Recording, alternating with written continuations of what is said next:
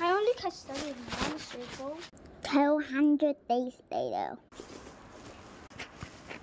Oh, finally, I can walk now.